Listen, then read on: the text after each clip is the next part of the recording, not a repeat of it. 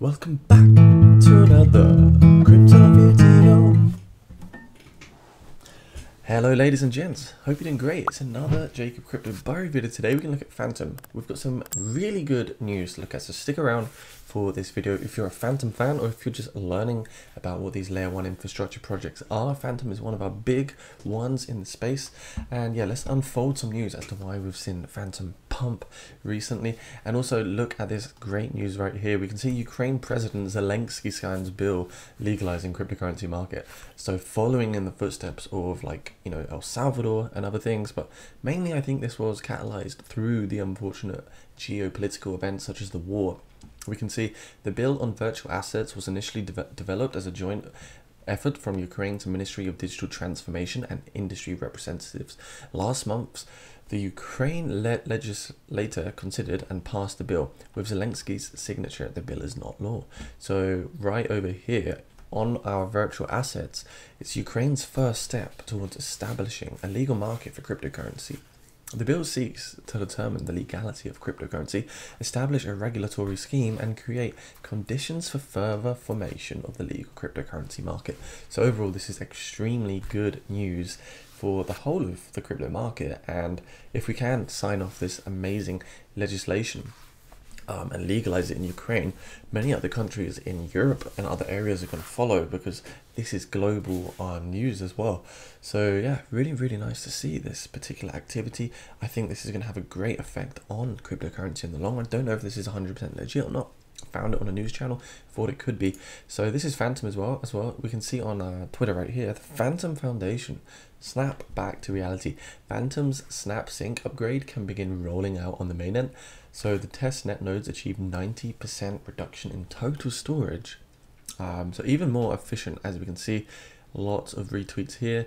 Upcoming Fantom protocol upgrades and we can see here on their blog that they have a lot of upcoming upgrades on the protocol. And this is a little roadmap for you to follow. They've got SnapSync, implementation of PebbleDB and RAID, and loads of other things that I don't understand, I'll be completely honest with you. So yeah, really, really cool. Keep an eye on those announcements because those news can be good catalysts to price activity. Fantom total value locked. Well, it's not quite as high as it was back over here, you know, when we had like $13 billion, when we also had $14 billion. We've seen a little bit of liquidation, but we seem to also be holding at a fair value in terms of the total value locked at around this 8.35 billion mark. So it's definitely not an alarming area to be in. We've still got all this total value locked from yield, from borrowing, staking, and many other kind of platforms over there. And the crypto bubbles, I mean, look at this. Crypto is doing great today. No reason to be feeling fearful, even though we're in the middle of a war. Like, Ape is bright red, and I'm absolutely glad. I hope people lost money through greed.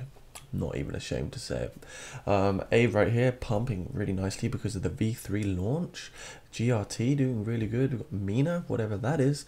Maybe we'll have to look what that, what that is. We've got Rune up 48%. Wow. So we got some really strong coins um, in the market doing very well. We can see Fear and Greed Index is also just 28 at the moment. So we're looking pretty neutral in terms of what's going on in the market. So let's have a little look and make sure you subscribe to the channel if you're new here, ladies and gents. Also hop into that Discord channel down below whilst it's still free, as I'd love to see you there, and I think even other people would too. So Fantom is $1.34, trading at rank 41 with a 3.35 billion market cap. And if you look at the trading volume, it's literally around 25% of the entire market cap. So it's so heavily traded, this particular coin. Lots of juicy volume. And we can see we just found that low just above that September low at $0.97. And it looks like you're getting this wave of euphoria, retracement, euphoria, retracement. And yeah, it looks like potentially this could be in the bottom and maybe we're going to start getting this reversal pattern all the way to the upside now. So here is Fantom on my particular charts and we can see really all the red lines are highlighting big resistance areas. So we come back down to our strong accumulation range, which is where this rectangle is. I'm going to try and change the color to make it a bit easier to see. So that rectangle indicates a key accumulation area. And it does look like when you buy in this accumulation zone from time to time again between $1.08 between $1.36. Usually it's a good dollar cost averaging zone to prepare for the next impulse or pump to the upside. And right here, we have definitely put through some kind of head and shoulders pattern. You can see here, left head, uh, left shoulder, head, right shoulder, and maybe that's also got something to do with why we bumped to the upside. We didn't come down to $0.95 on the support. We did break back through the $1.15 resistance, which is now flipped into a support level. And now we're targeting that $1.35. So I think it's very possible that we can start keeping this momentum to the upside and maybe we're going to even tackle that $1.64 level in the near future. So yeah, back on the daily time frame, we're still underextended on the 20 day moving average, which is this orange line right here. Probably going to change that color because I think it's quite difficult to see. What do we think? What do we think? Uh, mm, yeah, I don't know. I can never choose a color. Let's go light green. So light green, that's our 20 day moving average. We're still underneath it. So effectively, it doesn't signify a huge uh, uptrend just yet because we fell out that rising wedge and that's why we lost our 20 day EMA. And now um, we really want to get through this $1.35 resistance, which should be absolutely vital. If we do get a fib extension and take it from this swing high to swing low, we can see that the golden target actually is $1.64 as well, which is just where I've written in that key level of resistance. So $1.64 really really crucial. If we can break through $1.35 things will also be looking really good. On the MACD we got that bullish crossover guys. And um, I'm actually seeing no bearish or bullish divergences as you see the price comes down here. Um, and I think actually we're in a good place for Fantom. Good place. Of course we can come down get rejected. We can still come back down to these lower supports such as $1.16 but if the market keeps pulling and everything keeps on moving forward slowly I think uh, we're in a good place. This looks like a supply zone, very similar to here. If we do get our info line, I mean, look, 18 days stuck in this lull. And then right here as well, so far it's only been 11 days. It feels like a lifetime, but it's only been 11 days stuck in this range where we're really, really low priced. If we go to the weekly as well, the RSI, interestingly enough, the RSI doesn't really like coming down below 47 for this particular project. And you can see it's just a cycle of waves. So maybe, maybe the data is suggesting that we are due at least coming up a little bit on the RSI. As you see here on the weekly time frame RSI, I would still anticipate there is going to be a pump to the upside.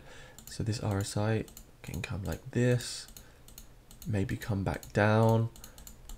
So this is all speculation. But wouldn't you rely on these key areas of data to help you jot and predict the future? Because I think that looks more likely than, you know, collapsing all the way down. We've also got our first white candle on, on the red time frame, which could also signify a reversal pattern is about to take place for Fantom. What else can we look at? We can look at the double top here that we produced and we actually failed to break down below the neckline. And we can also use this as now getting a new accurate price on the next potential level. So after price discovery, we can actually come to $3.78 on the 1.414. We can come to $4.49. Just make these a bit bigger. And the golden fib target would actually be $4.97 right there. So $5 Fantom target for by 2025. Let's not say 2022, but by 2025, we could probably imagine $5 is actually a very key price to look at. So that's probably a wrap for this video, guys. I hope you enjoyed the content. Huge thanks to my patrons, Cara, Lion, AU, Jordan, Dasney, Ali.